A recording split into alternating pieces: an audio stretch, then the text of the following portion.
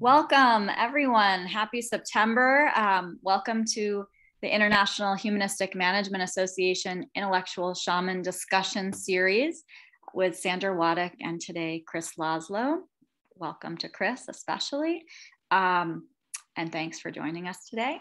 We'll be talking today with Chris about his journey to flourishing with an excursion into prospective theorizing. I uh, can't wait to hear more about that. I'll be posting some um, information in the chat just so everyone has it, and I'll repost it a few times as people join so they can access the chat. Um, just very briefly, uh, I'd like to welcome also the new president of the US Humanistic Management Association, PJ Dillon is here. We had a refresh on our officer team, um, which is exciting. Um, so PJ, welcome. And we also have Michael Pirson here, who's a founder of the International Humanistic Management Association. Just briefly, Michael, are you available to say a quick welcome?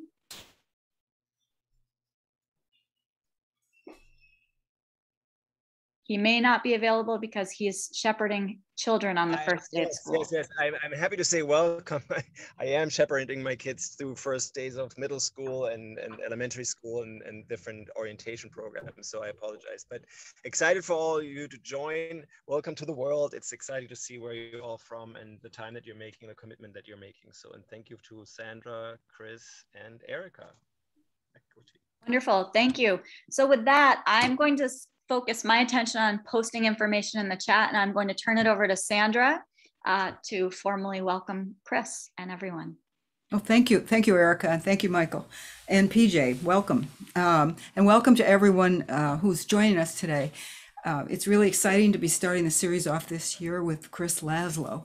Um, and I'm just going to briefly introduce Chris.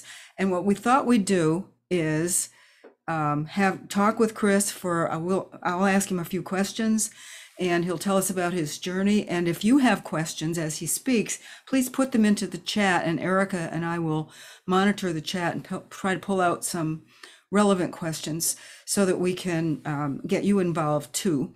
And and then um, for the last 20 or 15 minutes, Chris will talk about prospective theorizing if we don't get to it during the regular course of the conversation. But first, let me tell you a little bit of background. Um, uh, uh, uh, first, about the, the, this series. This is really meant to be kind of a, developmental orientation, thinking about people's careers and lives and how they got to where they are and the kinds of ideas they've been grappling with over the course of their careers. Um, so you can ask any kinds of questions of Chris that you'd like to know about his path and his journey and the kinds of ideas that he's been um, um, dealing with for all low these many years. Let me just give you a little bit of background about him. He's professor of organizational behavior um, and the Char and Chuck Fowler Professor of Business as an agent of world benefit at Case Western Reserve's Weatherhead School of Management. There he researches, researches flourishing enterprise generally. Um, he's written total of six books, including the most recent was Quantum Leadership, Flourishing Enterprise in 2014, Embedded Sustainability in 2011, and Sustainable Value in 2008. And you can see that there's kind of a theme there. Um, in 2012, he was elected a top 100 thought leader in trustworthy business behavior by Trust Across America, and he's known for his work on sustainability and flourishing enterprise. He's held a distinguished visiting scholar appointment at Benedictine University multiple times and is senior fellow at the Peter F. Drucker and Masatoshi Ito Graduate School of Management at Claremont Graduate University.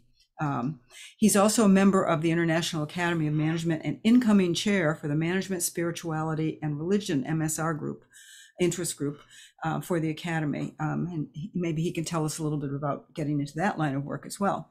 He's a partner and co founder of Sustainable Value Partners, a strategy uh, consulting firm with senior leaders of family businesses and, and at global clients such as Bayer, Cisco, and L'Oreal.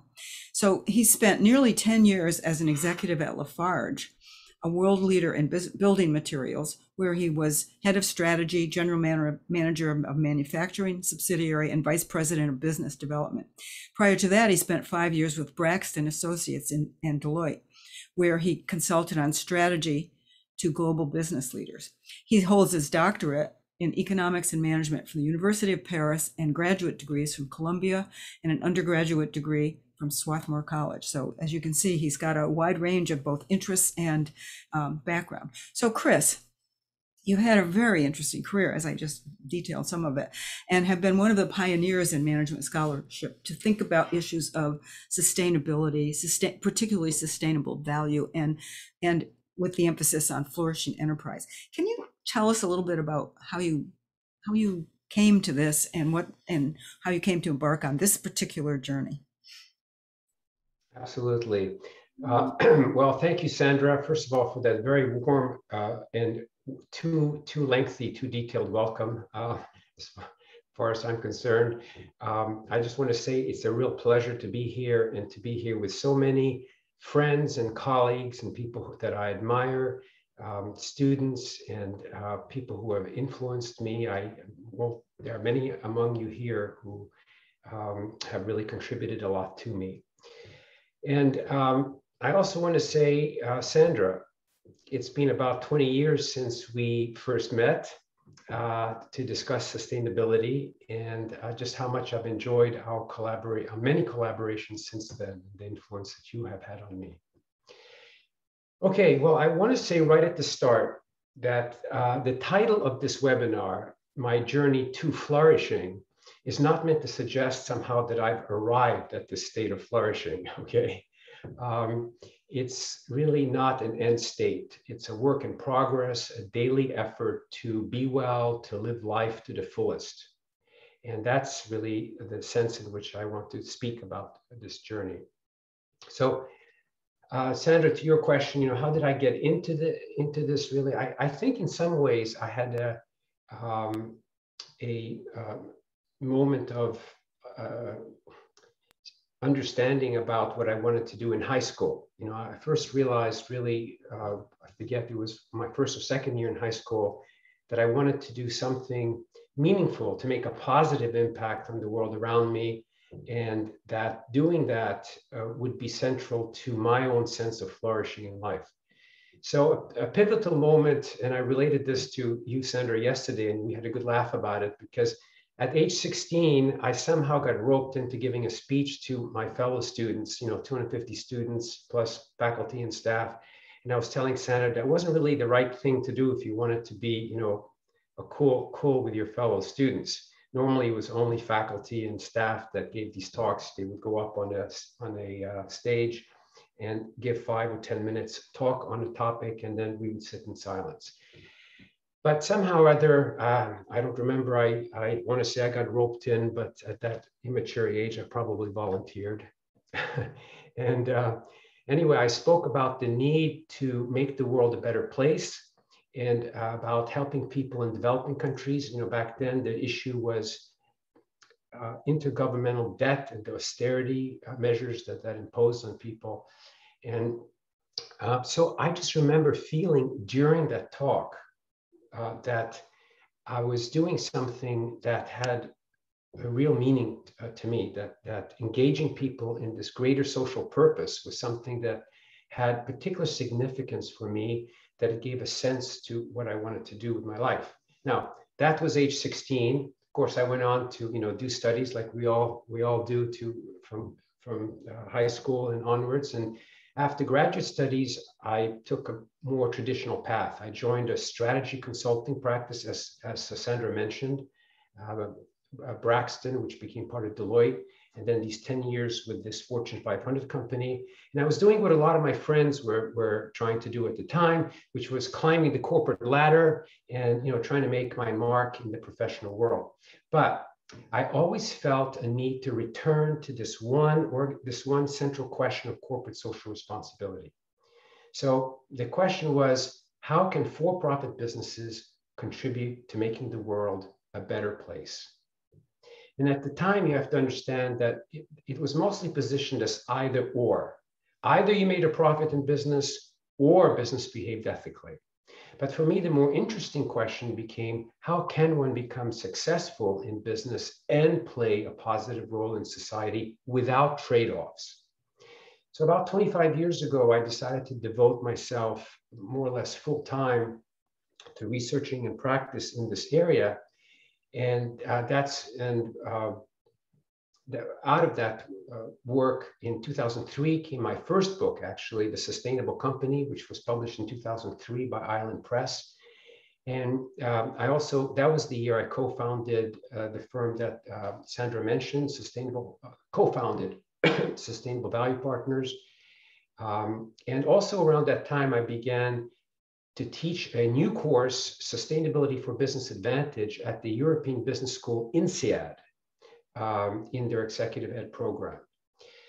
Okay, so that's kind of where that, that's sort of the, the, that background up to really uh, the point at which I um, was decided to teach, research, and be of service in academia. So how did that happen? Well, in 2005, really completely out of the blue, I got a call from a fellow by the name of David Cooperrider, who uh, at Case Western Reserve University, who had read my book, The Sustainable Company, and he wanted to know if I could come to the Weatherhead School at Case to give a talk in an executive ed workshop. And that led to me joining the faculty at CASE, and then ever since then, you know, teaching these courses uh, again that Sandra mentioned on, on, sustainability, flourishing, and then and quantum leadership. Um, one thing, you know, that I and I please do post questions, and you know, I'm happy to make this as interactive as uh, we want. One comment that I would invite Sandra you to add to um, and any uh, others as well, is I was reflecting on how much the landscape has changed in the last 20 years for topics such as climate change or um, social justice issues. Uh, it's just amazing. You know, 20 years ago, uh, when you when we were teaching uh, this topic and, and, brought up climate change in business schools or in executive ed in, in corporate universities, it was really viewed as a hundred year impacts would be a hundred, had a hundred year horizon. And maybe, you know, by 2010, we were starting to talk about 2050 as being, you know, when we would have, have uh, be looking at impacts that we, we needed to really uh, adapt to or, or really be concerned about mitigating in the shorter term. And now suddenly here we are in 2021, and I realize this may not be true for every country in the world. So there may be parts of the world where uh, you don't have climate change effects uh, like we do, for example, in the United States, in Japan, in, um, in uh, Europe. Uh, there are many parts of the world where um, it's, it, it, it, truly is a, uh, something that is very present today. And also the degree to which um, student awareness and executive awareness has changed is encouraging. You know, um, 20 years ago, I was often, um, I was, I got a lot of pushback from students and, and, and executives in these training programs who would say to me, what does this have to do with business? Why, why are you teaching about, you know, our impact on the environment uh, for business. Uh, it doesn't belong in a general management program. I, I, really had sort of systematic pushback from many people. And um, today, you know, I was just reflecting last week in teaching undergraduates. Um, there's a sort of a, a, a, really deep, universal, and fairly sophisticated understanding of climate change, its origins, and uh, the need for business to tackle this as part of its um, of, of, how it does uh, business. So, Sandra or or Erica, are there questions here before we go? I'd like to talk also about how my journey differed from the conventional way, uh, Sandra. But yeah, no, we'll we'll get we'll get back. I wanted to just push you a little bit because yeah. you mentioned CSR. And uh, as you know, um, I studied CSR for a long time, and so did you. But um, you also have talked about sustainable value and flourishing enterprises. So it seems to me that you moved far away from CSR, considered as kind of the do good programs that companies uh, engage in. Uh, um, can you talk a little bit about that? That sort of shift towards looking at the actual business models of companies? Sure. So um, I feel like I was part of a uh, I feel like I was part of a broader movement that Sandra, you were part of, and many others here uh, on this uh, webinar were also part of, which was uh, a emerging consensus that business had to move from seeing environmental and social uh, issues as being just constraints to business or questions about you know government uh, um, regulation and then public relations kind of things to uh, a business uh, to integrating it into the business in a doing less harm mode. So let me explain what i mean by that. So uh, csr was often this thing that was parallel to the core business as many of you know and did not have a line management um, reporting to any of the uh, C suites that ran the business. It was sometimes stuck under HR or you know communications or something like that. And and then it suddenly, I think in the 2000s, uh, we started to see businesses say, "Hey, you know, we can save money. We can reduce our costs. We can reduce our risks. We can differentiate our products." And so that led to this idea that businesses can pursue profit and by reducing harm to society and the environment, it was going to be um, a um, uh, good for business and uh, good for society. And that's really where I think, Sandra, this is your point. We, we, many of us started shifting this into the notion of value creation. This wasn't just about, when I say just about ethics, it's extremely important that we think about this in terms of ethical behavior. I don't want to diminish the importance of wanting business leaders and the institution of business to be ethical. Absolutely. But to speak in their language, we also were helped by the ability to show business leaders that they were able to um, do well and do good. And then, uh, you know, John Ehrenfeld in 2008 and then in 2013 with his student Andy Hoffman, who I know you've interviewed recently, Sandra, in this series, um, they really recast the whole challenge as one of going from doing less harm to flourishing, meaning that the role of business now is not just to make money while do, while you know being less unsustainable. It's really about how businesses can uh, contribute to human well-being, to regenerative natural environments, to prosperity in the communities that they work in. Thanks, Chris. Um, so let's t- go back to your journey a little bit. How how has your how would you say your journey has differed from the the sort of the normal academic path, the the one that um, that uh, many of us follow? We go from doctoral programs into academia and stay there. But you came in from the corporate world, and um, and followed a really different kind of path. Can you talk a little bit about that? Yes, I, I do want to share that with you in, in the spirit of, you know, encouraging those of you that may also be thinking about unconventional approaches or doing it your own way, you know, get there to make impact your own way. And so I, that's been very much uh, kind of how I approach things. And um, as Sandra is saying, you know, besides uh, coming from the corporate world rather than directly from graduate studies, I also did a number of things uh, that were against conventional wisdom in academia. So first, first, okay, I've been more interested in social impact than in high impact factor research. So you'll recognize those, those terms, meaning that I always wanted my work to be read widely by practitioners rather than narrowly by academics. And I realized that to, to, to move forward in a, a, traditional academic career, you have to be read narrowly by academics to be able to get tenure. So, you know, that posed a, a number of challenges. Um, and uh, it's also one of the reasons I started writing books and only uh, later journal articles, because uh, what, what I was what I was publishing um, was probably or was was not something that the top journals would have been willing to publish what I was writing in those early years because it was really directed in a prospective sense at having social impact about bringing a particular kind of reality into existence. Um, to, I also have to say, and there are many students on the call here, and I want to say, you know, to publish in academic journals, I had to learn methods of qualitative and quantitative research that my PhD in economics just hadn't prepared me for.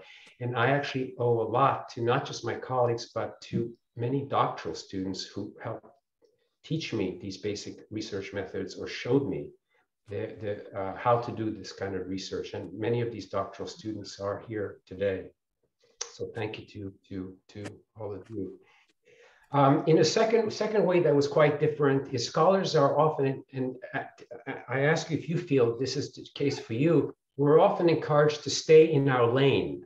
You know what I mean by that? Like we, we, we're supposed to be working within a narrowly defined discipline. And I always felt that the complex social and global issues in management, in management research and practice, made it different from other disciplines on which it's based, like um, sociology or psychology or um, anthropology, uh, economics, and, and, and, so on. So um, I wanted to take a much more inter or transdisciplinary approach. And in fact, I went much further afield than would normally be seen as wise, meaning that I drew also on the natural sciences, as some of the, the natural sciences, as some of you may know, um, to research and write about the implications, for example, of the quantum physics uh, paradigm uh, and the, the, the, the, implications of quantum physics for how we look at the world. Okay, then third, another sort of time-honored principle I avoided was um, scientific objectivity at, at least in the sense of uh, scientific objectivity that requires the researcher to adopt uh, what is sometimes called an impersonal view from nowhere. That the researcher should not bring any of their own perspectives, biases, uh, they, you know, that they, they, should not influence in any way um, this, um, this, uh, the study of the research. Well, I got, uh, I want to share with each of you that I, uh, in fact, did bring my own perspectives and experiences to my research and writing. And here's a couple of things that actually tie over to MSR, to spirituality and research. Um, I trusted my intuition and sensing and presencing and believed that they were more than just gut, uh, what did you call gut um, feelings or hunches um, I believe that they are skills that you can cultivate through practice, and that they that um, these other ways of knowing are conduits to intellectual creativity, to insights, and to solutions to difficult problems. Um, so, uh, and, and they're also foundational to prospective theorizing, which I'll talk about later. So just consider one, one thing. Um, many of you, I assume, have a very rough familiarity with some of the key features of quantum physics, or at least the, the implications of quantum physics, okay? Um, I believe that these so-called other ways of knowing that the academy usually frowns on can help us understand aspects of quantum reality. So we can intuitively experience what quantum physics physicists call superposition, entanglement, and non-locality. So through spiritual or religious practice, we can have an experience of the essential oneness of reality and its wholeness and interconnectedness, which the early quantum physicists were very clear, you know, was, was the world described by their empirical experiments. Um, so what did it mean for me? Like, how did I do that? Well, one of my lifelong practices has been running. You know, basically, for my whole life, it was what I, what I did because it was just part of me, I guess. But until about 10 years ago, I often ran mindlessly, meaning that when I ran, I was preoccupied with, you know, what did I do wrong yesterday and what challenges do I have tomorrow? And, um, and uh, so I could run, you know, for some period of time and not even realize where I was or what, what, what experience I'd had. But then I became more intentional and started running, uh, ch- choosing where I went running. So running through wooded trails um, and being more present in the moment. And um, I, I'm, I hope I can say this in a group of scholars like this and not, not that this isn't uh, something people will laugh at, but communicating with the trees while I ran, okay? um, so running, running became an exercise uh, in nature immersion.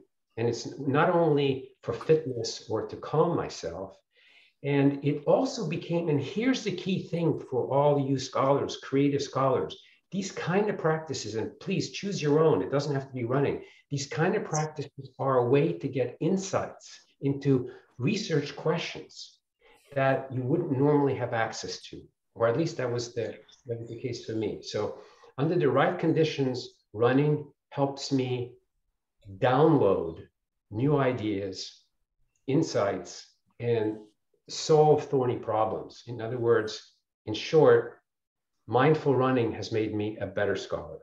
Okay. it's funny because when I started thinking about shamanic practice, I um, I thought, oh my gosh, this is going to just totally derail my career, and it you know it it had the absolute opposite effect. One more question before we turn to some of the uh, questions, and we have some great questions coming from listeners. So um, I want to turn some time over to them. But um, I want to ask you one more question. It's got to do with the obstacles and the resistance that you encountered, and where you found the courage, and how you maybe recommend to others to find the courage to deal with those. So uh, I I have experienced academia at its worst as well. You know, the, the political uh, obstacles that can be in your way, the, the heavy process, the unfairness between the uh, workloads uh, given to junior faculty versus senior faculty, um, the um, uh, you know this this strong preference for a certain kind of uh, research that can be deadening. And I, I, think what I resolved early on to do was to keep my focus on what was the end game? Like, what's the thing that I really want? What was the purpose for what I was doing? And that always kept me um, going, even in times when I was very discouraged. So there were times I was very discouraged early on. And, but I, I also had this um, I had this sense that this uh, commit, commitment to business as a force for good. Uh, I don't, and I don't know why, Sandra. I'm not sure I could tell you why I had this deep belief that continuing to work on that was going to make a difference. So, and you know, I, I, I also uh, on occasion um, wrote a book or taught a class or gave a talk when I didn't feel I really knew completely what I, what I was saying from a good scholarly perspective. and that takes courage. Um, so let me uh, see if Katrin um, Heuscher, can you unmute yourself and ask your question? Yes, thank you so much, Sandra. And uh, thank you very much for, for the insights, um, Chris. Um, so what I was wondering, as you also mentioned that so much has, has changed and the importance of, of certain people along your journey, um, what's the advice that you would give junior people who are just on that, on that journey and, and finding their way? Um, and also, how do you think that changed in comparison to 20 years ago um, in terms of what we're, the reality we're navigating right now? Thank you. Thank you, Katrin. What, having mentors is obviously very important. And I don't know if this is the complete sense in which you were asking this question, but one thing that I feel is very different today than 20 years ago is there was, um, for a number of reasons, a heavy reliance on um, senior white, Western educated male scholars. And um, I think that uh, fortunately, that really has changed. It's not changed enough. In many places, it's still limiting, but there, there is something now in, in the halls of academia that I sense is a really fundamental shift. And it's, I'm in so many conversations about this. Um, in the executive leadership group for, for the management, spirituality, and religion, effort um, in my department, uh, at my university, at uh, in corporate clients. So if you can find mentors who are um, rep represent the diversity of gender, of um, you know, culture, of, uh, of all the different dimensions. I think that is uh, really helpful in terms of getting the support you need in a world that wants to move into that direction. Um, so I, I, would you mind, can you just uh, follow up uh, to what I said? Is that what you were looking for or you, were there other aspects that you were specifically asking about? That, that's a brilliant response. And the way I'm thinking about it in my mind right now is kind of having a sounding board of who we would want the voices in, in academia to be and, um, and, and bringing that forward um, also collectively because it doesn't have to be so lonely. Right. Um, so thank you very much for, for that response. Okay. I just want to add that in my early career, uh, the people who made the biggest difference for me were Bertrand Collomb, who was a um, this you know larger than life leader from uh, of, who was the chair, chairman and CEO of Lafarge, and David Cooperrider, and um, you know uh, several others um, in the early phase. More recently, I just want to acknowledge besides um, uh, besides Sandra, um, Julia Julia Storberg Walker and uh, Judy Neal and uh, Diana Bilimoria. Uh, many of you, perhaps also on this call, um, have have influenced me. But it's interesting to me that the, the, type of mentors that I have now are more more international and more diverse than than they were um, 20 years ago. So, uh, Luciana Cesarino, um, do you want to uh, ask your question? You still here? Luciana? I was muted. Hi, everybody. Uh, Chris, thank you for these precious words. I just want to know how can we uh, stimulate or uh, any kind of uh, construct any kind of change to the mindset of the managers because I see a lot of difficulty in the decision making process towards sustainability. So system thinking can open our eyes and change our decisions. So how can we as a part of academia work with this? Well, I love your question, Luciana. Thank you so much uh, for asking that because just let me just let me interrupt you for a second. Are you a parent of Alexander? Yes. Alexander Laszlo? Yes, I am. He's, He's my brother. a very good friend of mine. No. Great. He's my brother. Just yes. this, I'm sorry. No worries at all. No worries. Please, well, I'll tell him that I, I um, spoke with you today. So, you know, this question you're asking about how can we uh, get people engaged in a different way? I, I understand that. You know, that's really the reason why I turned to quantum leadership because I felt that the approaches we had taken up to that point with flourishing enterprise had two limitations. One is that they were at the team organizational systems level, which we are we're all excited about systems change, clearly. But I felt like to get that, we also have to transform individuals at a deep level of their self-concept. So now there's a lot of emphasis. Many people are talking about mindset change, about consciousness change, and so on. So the, the, the work that I'm very interested in doing is helping um, future leaders and current leaders with uh, taking direct intuitive practices in their daily lives. Like, so for me, that's running with five minutes of meditation after the run. But for others, it can be med- it can be art and aesthetics. It can be music. It can be just walking in nature. Um, it can be yoga. It's many, many different things. And these practices transform their, uh, a person's consciousness. Um, and meaningful interactions with humans, absolutely. I, I, just happened to see that in the chat. Uh, I, I think that that is in itself a practice. How many of us engage intentionally in high quality relationships not just with our loved ones, but with strangers when we have occasion to do that during the day. And when we do these practices, they transform our consciousness by giving us an experience of connectedness to others and of wholeness in the world. And I think that um, the, it's only through that kind of experience that we deeply change leaders. Because look, the cognitive case, the business case for sustainability, look, I spent 10, 15 years doing that until I was it was coming out of my ears. Okay. And it it I realized you only get so far with that.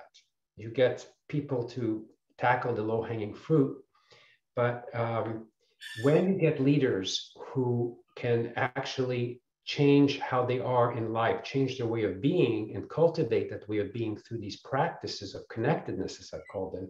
And then when you can layer on top of that a different view from science, from the new sciences about the nature of reality being really whole and interconnected, that can stick with people. And I've seen it stick. I've seen people then really become uh, a different kind of leader where um, they don't do things just because of a return on investment logic. They uh, they care for people and future generations and the earth because that's simply who they are.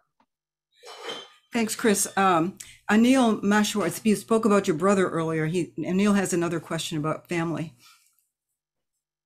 Yes, definitely. So, Chris, uh, it's been a joy to to work with you in the last couple of years and uh, you know again on consciousness which you just brought out consciousness uh, quantum and consciousness the interconnectedness. I was just always curious now your father is doing this uh, tremendous new work on this new paradigm around consciousness based i'm wondering how influential was he on your formative experience and how you got into this whole idea about what you said at the age of 16 you gave that speech stood out and all that stuff. So, what was your relationship with your father in that those days? Yes, thank you. And, uh, you might you might just say who your father is. Just okay, sure. Yes. Yes. So, um, well, first of all, thank you, Anil, and it has truly been my pleasure to work with you and on some of these big seminal events that you've been doing uh, recently that have really made a difference um, to to changing consciousness in the world. Um, my father, yes, my father, many of you may or may not know his work, uh, Ervin Laszlo. He has uh, published a lot in systems theory and in um, more recently in the new paradigm uh, based on, on the new sciences, more coming from a philosophical perspective. And of course, he's been a, a big influence uh, on me. Um, you know, other kids, when they were eight, nine years old, got to go play soccer with their dad. And I got to sit in the guest bedroom listening to him talk about systems philosophy. So, you know, I'm not sure where I ended up with my childhood experience as a father. And, you know, relationships with, with parents, our relation, each of us have a complex, I assume, relationship with our fathers. And it's true for me as well. But what I will say is that even if Ervin Laszlo had not been my father, I think I would have been influenced by his work because I find it just fits so well with you know what what is needed in today's world. Um, and the last thing I will say is my father is now 89 years old. He used to publish, um, write and publish a book a year. And the only thing that's changed last year and this year is now he's publishing two books a year. um, Eldon uh, wants to take us back to the question of uh, profitability trade-offs. Eldon, you want to ask your question? Uh, sure. Um, you know, it's funny to me that that we've gotten to a place where where we even have this trade-off kind of talk to begin with, and I wonder if there's a, you know, anyone who's done work on on kind of how those things actually diverge to begin with and and how as a result you know the prominence of profit over literally everything um, just took such ascendancy um, and we somehow forgot that you know the very basis of our interactions is about how we care for each other and serve one another and and those are ethical issues. So do you know of any work that has kind of uh, I don't know, chronicled that. That's not a good word, but uh, has has you know shown us how those have uh, separated out to begin with. Thank you, Eldon. And yes, I think you're, it's a wonderful question and you're asking this in the right place. One of the best reference sources uh, to speak about how we got to this dominance of profit over all else is a scholar I have great respect for by the name of Sandra Waddock. I think you're referring to my paper in the Humanistic Management Journal, right, Chris? Well, you've written several pieces on that. Didn't you just have a piece uh, in sustainability with? Uh, tell us about that, Sandra. Because oh, I have one on reframing economic values. Uh, That's that right. Came, that came out in sustainability um, in 2020. Yeah, which I'm happy to share with anyone. I'm trying to publicize it broadly, but it posits a new six new principles. Uh, values that we we might put at the core of economics, and I'm working with a global team called GAIN, the Global Assessment for New Economics, which has developed 10 principles, and hopefully we will soon be trying to publish those. Um, so, yeah, happy to share that with anyone. Um, so, Chris, I have a question for you. Um, yeah. It's about 20 of. If you want to talk about prospective theorizing, that's great, but I can tell you there's a ton of great questions. So, it's up to you I, I, I, think we should go with the questions. Why, why, don't we go with what? And I can try to weave in a little bit of prospective theorizing uh, if there's an opportunity um, to, through the questions. But the more conversational, the more I think it could be um, a, a, rich way to spend the remaining time. Okay, so Bill um, oh yeah, Bill. That's good enough, Sandra. Great, thank you. Hey, uh, thank you for taking this question, Chris. Uh, Chris, I've been in the, um, let me just start off by saying my mission in life has been to bring more consciousness to the business world. Okay, I've been in business for well over 50 years. I've started my own companies, four of my own companies. I've been consulting now for at least 10 years for many companies. At the same time, I've been in the world of consciousness for well over 50 years, almost going into that full time and letting go of my business. But in my meditations, the message was integrate the two. Uh, so at this point in my life, uh, I'm just completing a book uh, with uh, Dr. Farias. Uh, it's titled right now uh, Improvisational Leadership. Talks about all of the consciousness principles, meditation, mindfulness, including improvisation, which I also do, and how it can be applied to business. So now I'm basically coming out into the world, and that's got to be my new consulting. I've tried several, I'm thinking of several different ways to do it, and with your experience of having and seeing that, what do you suggest is the best way for me to introduce this?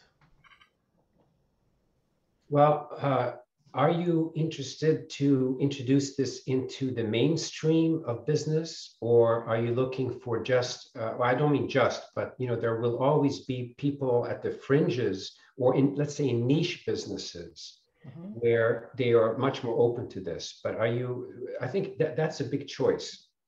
Interesting. Okay. Well, it, it, sounds like the latter might be an easier entree. I mm-hmm. mean, I, would like, uh, I, as I said, based on your experience, I'm wondering where you feel it's most effective and, and where we can be. So it sounds like the latter is what you you might be thinking about. Well, I've always been interested in trying to reach mainstream uh, mm-hmm. uh, folks, people who are not dead set against uh, business playing a role as agent of world benefit, who are not dead set against the idea that uh, transforming consciousness is the highest point of leverage, as Donella Meadows said. But um, still, how do we reach the mainstream? And there, sort of in, in a nutshell, what I found was that you do have to start with the business case in the sense you have to show them that doing well, um, doing well does not have to uh, be at the uh, uh, a trade-off with doing good. In other words, uh, companies can do well by doing good. Is what I'm trying to say. Mm-hmm. Um, so you have to you have to show that, and you have to show very specifically how uh, environmental ESG, what's called ESG now, can create. It's, it's relatively easy to do, Bill, because there's so much good data now that didn't exist 20 years ago, showing that ESG has a statistically significant alpha for companies that focus on materially significant ESG issues and don't focus on immaterial issues. Mm-hmm. Um, once you do that, then you can move into well, just doing less harm is not enough. Flourishing is where future expectations are going. And from there, you can go into, or I found in my experience, from there, you can go into this question about mindset and, you know, the, the paradigmatic assumptions that people hold about how the world works and, and about human nature. Mm-hmm. And Donella Meadows is an excellent, I mean, I, she wrote these papers in 1997 and 1999, not in, in an academically recognized journal, but I think they are fantastic pieces on places to intervene in the system, where she put mindset change at the top. And so uh, to wrap it up, to wrap up the answer, it's you start where they are, you reassure them that they can continue to be successful as business people uh, going down this path to try to be more of an agent of world benefit. And you then, in conversation with them, get to where they discover that consciousness um, transformation and the practices that can lead to transformation consciousness can be critical. Great. Thank you, Chris. Appreciate it. Thanks, Chris. This is a kind of a follow-up question that Joel Harmon had posed. Joel, you want to ask your question? Uh, thank you, Sandra. and, and thank you, Chris, for uh, a career of contribution that's uh, been, been so uh, enjoyable and helpful. I actually think that you probably answered my question, which was, uh, you know, concerning the uh, woeful inadequacy, even hypocrisy um, in, in large from business and how reluctant they generally the business community seems to be to become powerful public advocates for the kind of deep system change. I imagine that you would point to this uh, need to change the mindfulness uh, the consciousness of the leaders increasingly to get to some kind of critical mass where they would begin to tackle that for business. I, I assume that's how you would answer that. Is that true? Yes. Yes joel. And by the way it's been a pleasure working with you on, on past projects as well yeah, yeah. So it's good to be back in touch. But yes, I think that's right. It's it it's unlikely to get change through just cognitive, rational, empirical persuasion. Yeah. So thanks. Uh, Carrie, I don't know if your eyes, it says you're on your phone. Can you ask one of your questions? Sure. Sorry, I'm just not really camera ready right now, but um, it's nice to see you, Chris. And I forgot where they are. Let's see. Well, I think uh, one was about management education and or education writ large. And you know, is it time to tackle the business model of education um, or redesign it so in service to a regenerative future? Because my sense is that as somebody who's navigated both worlds, uh, you have really important perspectives to share on that because the management education particularly has not caught up to the needs of our the, the needs of humanity to transform yes yes and you know here again sandra has written great stuff but so has um, um, Rimanoczy, uh, Sandra, I'm blocking her first name. Um, Rimino- oh, Isabel, Isabel. I'm sorry, Isabel. Isabel Rimanoczy is doing really good work in this area also with the mind, uh, sustainability mindset indicators.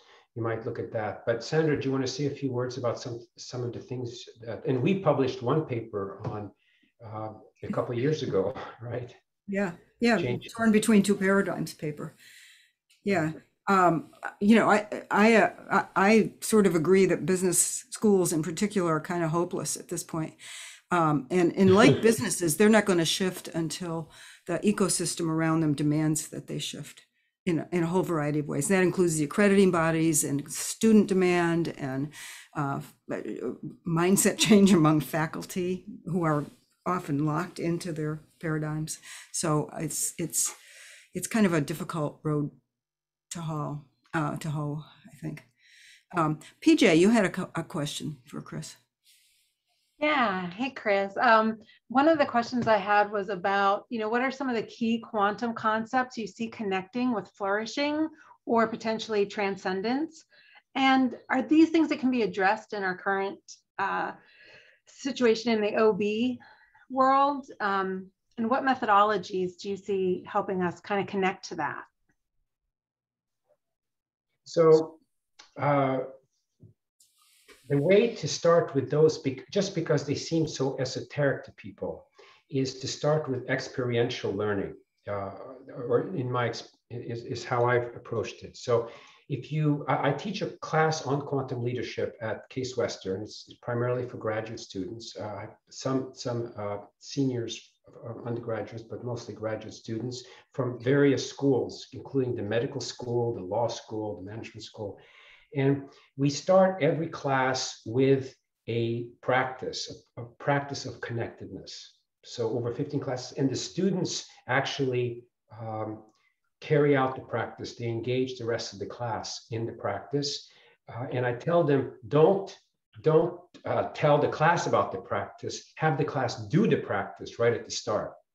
So the class does a practice, okay? It can be uh, art and aesthetics, you know, or practice like Zentangle. It can be chair yoga, or we go outside for a walk in nature, or um, we've had, um, you know, music and uh, uh, uh, of course, mindfulness meditation, body scan, uh, anyway, a, a, wide range of different things that the students choose. Now, over time, what we do is we debrief every week and people uh, are asked to uh, authentically, you know, sh or share uh, what their experience is of these practices. And throughout, they are also journaling. And the goal here is for people to get themselves into a place where they do start experiencing greater oneness and connectedness and coherence. And then we can and then we can talk about um, the difference between the conventional science view of the world you know the newtonian cartesian uh, uh, world uh, and then the neoclassical uh, jevons and so on that saw the world as fundamentally separate, uh, isolated, made up of clumps of matter that sort of uh, float around in empty space subject to these laws like gravity and the electromagnetic field um, and the strong and, and, weak nuclear forces. But that, that's kind of a deadening world. It's a world, you know, where we life is kind of meaningless and we're um, in, in, uh, in a material positivist material world. It's not surprising that people have built from that you know on top of that they've built the utility maximization uh, survival of the fittest um, you know and uh, other um, other conclusions about the, the nature and aims of, of human behavior in society that are separating us and that are leading to a um, leading to fragmentation and to tribalism and so on.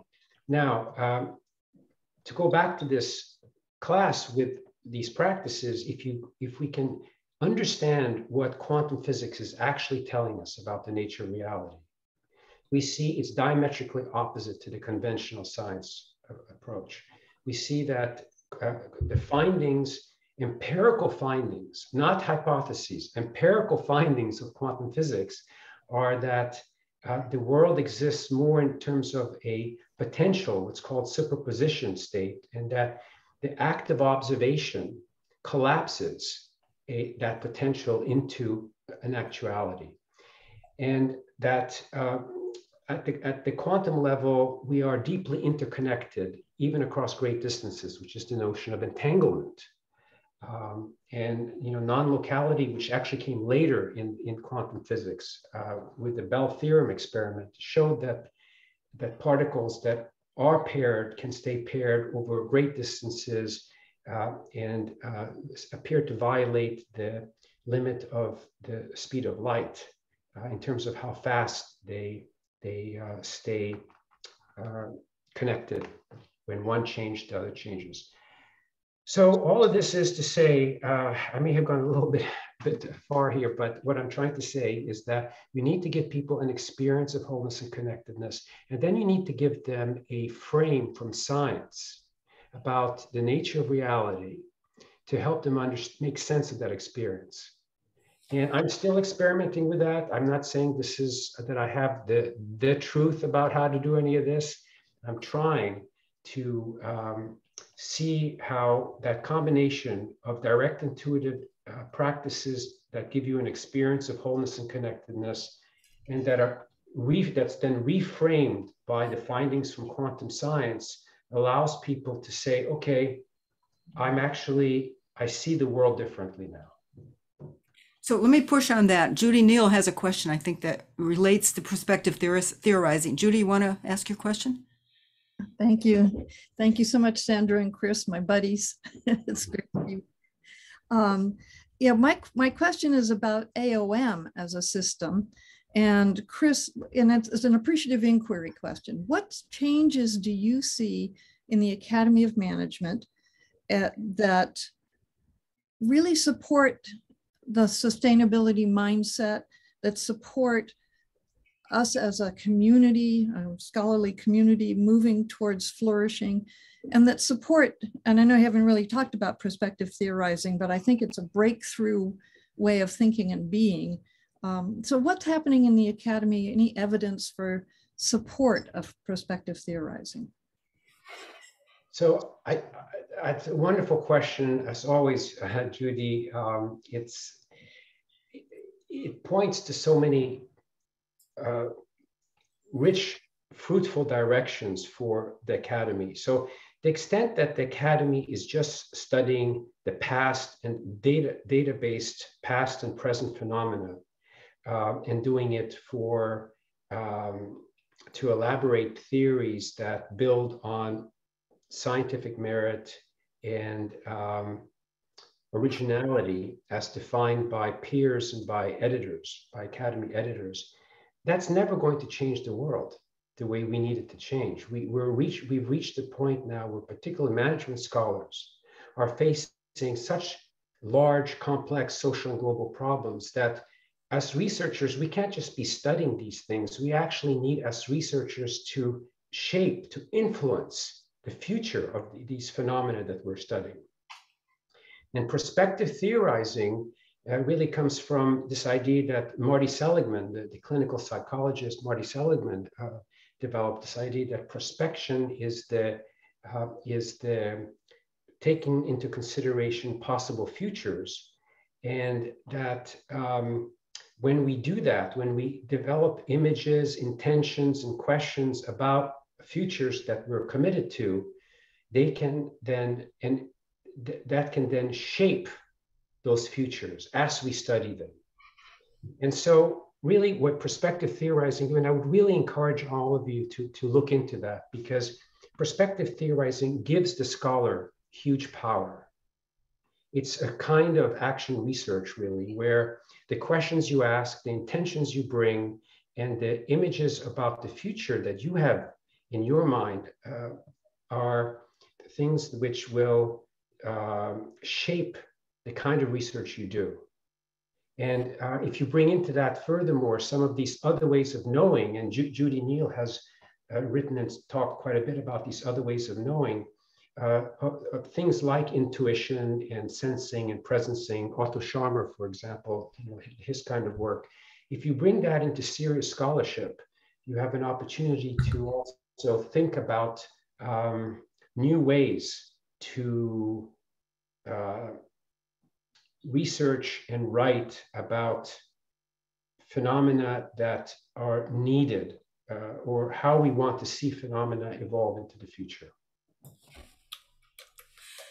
Thank you, Chris. Um, we are now at, we have still lots of great questions, but unfortunately, I don't think we're going to get to them because um, we are at uh, 1259 and it is time for us to wrap up. So I just want to thank again you in particular and everybody for listening um, and um, and for asking such great questions. And um, I hope we get a chance to talk more about prospective theorizing at some point because I think that is actually a topic that uh, people might want to hear a little bit more about. Um, and uh, thank you to the Humanistic Management Group, Michael and Erica in particular, for organizing it, and PJ for leading us. Um, and um, and uh, we hope in two weeks, Phil Mirvis will be back and he'll be talking about consciousness. So he's going to continue this theme. So um, please come and enjoy Phil's talk in two weeks. And uh, same kind of thing. And Chris, thank you so much. So huge, huge thank you to Sandra, to Chris. Come for Phil Mirvis's talk. We also have Greg Cajete coming in November to talk about Indigenous philosophy, Indigenous wisdom. Um, and this is a wonderful foundation, prospective theorizing, for kicking off a fruitful um, fall semester. Thanks, Chris. Thank you, Sandra. Thank you. Thank you all. It was great being with you all. Cheers. Thanks, everyone.